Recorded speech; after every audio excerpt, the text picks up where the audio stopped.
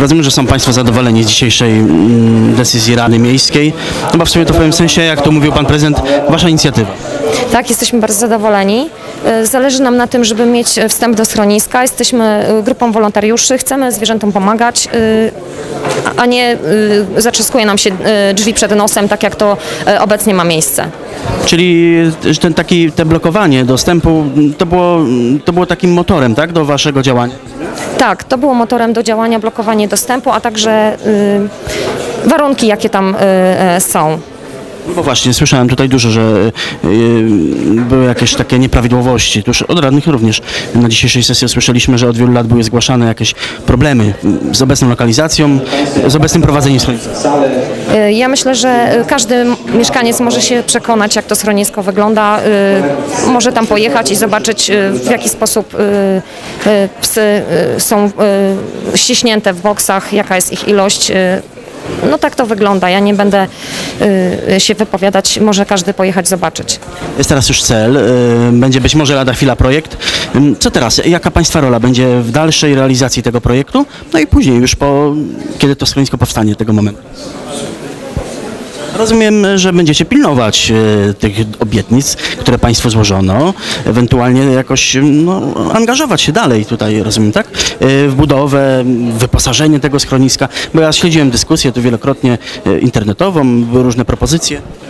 Tak, będziemy chcieli cały czas... Żeby to schronisko wyglądało optymalnie z Państwa perspektywy i z perspektywy zwierząt. Będziemy chcieli e, cały czas, e, e, no, będziemy chcieli cały czas w tym uczestniczyć. No, nie wiem e, na ile zostaniemy do tego do, e, dopuszczeni. No, natomiast na pewno e, cały czas będziemy zainteresowani e, dalszym rozwojem sytuacji. Wnosili Państwo pewne zastrzeżenia co do dzisiejszej uchwały związanej właśnie mm, z realizacją nowego schroniska dla zwierząt w ludziom. E, Tak, dotyczyły właśnie te, te, te zastrzeżenia. te zastrzeżenia głównie dotyczyły sytuacji, że firma komunalna, jaką jest Miejski Zakład Komunikacji, będzie miał powierzone kolejne zadanie. E, Proszę Państwa, proszę pamiętać o tym, że MZK już zajmuje się nie tylko przewozami pasażerów, a więc naszych mieszkańców e, i też e, gmin sąsiednich, ale już zajmuje się odśnieżaniem miasta, oczyszczaniem miasta, zajmuje się przokiem, a teraz dojdzie jeszcze jedno ko- kolejne zadanie, jak były podnoszone też kwestie prawne. tak, były podnoszone kwestie prawne a propos tego, dlaczego MZK ma budować na przykład, w ogóle dlaczego będzie schronisko budowane bez przetargu. Oczywiście e, tutaj prezydent e, Tak podobno ma być, tylko ma to MZK. no, no właśnie, w związku z tym, e, z punktu widzenia takiego formalno-prawnego, e, ja osobiście nie mam pewności. A co do samej kwestii schroniska, jego zmiany lokalizacji? Bo tu Pan też podnosił kwestię, że od wielu lat już dowiadywał się o nieprawidłowościach, bo jest Pan radnym, no chyba wszystkich kadencji, więc można powiedzieć, że jako jeden z niewielu śledzi tę sprawę od samego początku. Tak, ja pamiętam, że co em, projekt budżetu, to zawsze pojawiały się z roku na rok coraz większe kwoty. A więc ta kwestia finansowania schroniska w Węgrowie no, wywo- wywoływała wśród radnych coraz większe zaniepokojenie. Dlaczego z roku na rok te kwoty rosną? Z 600, proszę Państwa, do miliona stu, więc to już są bardzo duże kwoty.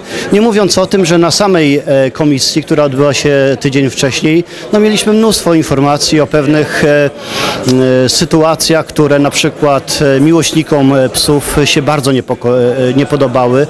Wielu ludzi było no, bardzo zaniepokojonych sytuacją, jaka panuje, jeżeli chodzi o opiekę nad zwierzę, zwierzętami. W związku z tym proszę się nie ma co, proszę się nie dziwić, że tak naprawdę te sygnały sprawiły, że i ja byłem, i ja jestem głęboko przekonany co do tego, że takie schronisko komunalne powinno powstać. Oczywiście ono powinno być powierzone w konsekwencji jakiejś organizacji pozarządowej, która zajmuje się opieką nad zwierzętami. Jestem głęboko przekonany, że opie- że opieka w tym schronisku na pewno będzie e, jeszcze lepsza niż jest obecnie. Natomiast dochodzi do tego kwestia finansowania. Mam nadzieję, że po, po powstaniu takiego miejskiego schroniska e, środków e, miasto z budżetu będzie przekazywało mniej. No w dniu dzisiejszym podjęto uchwałę odnośnie budowy nowego schroniska. Byli Państwo oglądać miejsce, mm, pozytywnie odnieśli się do tej inicjatywy. Też sytuacja zmusiła nas do tego, żeby szukać, szukać nowych rozwiązań, jeżeli chodzi o schronisko, ponieważ e, w sposób nieuzasadniony e, monopolista, który jest e, obecnie jedynym operatorem tutaj u nas w Grudziądzu na rynku, czy w okolicach Grudziądza, prowadzący schronisko dla zwierząt, podwyższył opłatę w wyniku przetargu w czerwcu tego roku o 33%, o 1 trzecią. Czy kwestie finansowe były jedynym z argumentów, które przyświecały właśnie tej inicjatywie, która właśnie w tej chwili można powiedzmy została dopiero rozpoczęta? Dwa aspekty. Pierwszy to aspekt finansowy, właśnie nieuzasadniony wzrost kosztów przerzucanych na mieszkańców właśnie prowadzenia tego schroniska, a drugi to to rzecz, którą wnosili e, obrońcy praw zwierząt działający w różnych stowarzyszeniach, organizacjach, fundacjach na terenie miasta Grudziądza, czyli brak dostępu wolontariuszy do schroniska w Węgrowie, ponieważ przedsiębiorca zamknął bramy dla osób, które chciałyby swój czas czy swoje pieniądze e, poświęcić właśnie tym zwierzętom, to po pierwsze, e, a po drugie to sygnały, które trafiały do nas właśnie od tych wolontariuszy, że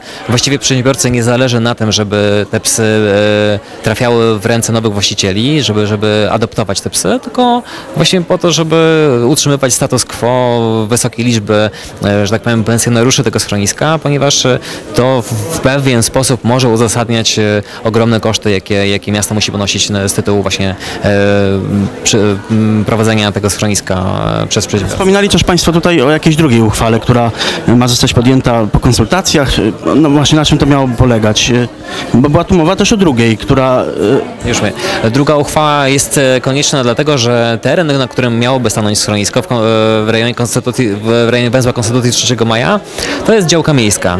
A żeby MZK mogło realizować tam jakąkolwiek inwestycję, mamy dwa rozwiązania. Albo przekazać im tę działkę w drodze długotrwałej dzierżawy, albo przekazać ją w drodze aportu na majątek spółki. Myślę, że to drugie rozwiązanie znajdzie więcej zwolenników tutaj na sesji e, Rady Miejskiej w przyszłości. Myślę, że bardzo szybko, w momencie, kiedy już właśnie e, pierwsze rozwiązania projektowe zaproponowane przez e, e, projektantów zostaną przedstawione wolontariuszom, ale też mam nadzieję, że zaproszą, e, e, prezes MZK zaprosi także radnych Rady Miejskiej. Pana zastrzeżenia dotyczyły głównie kwestii, można tak chyba to nazwać, prawnych, y, samej konstrukcji obecnego, obecnego ośrodka, który ma się zająć właśnie budową schroniska.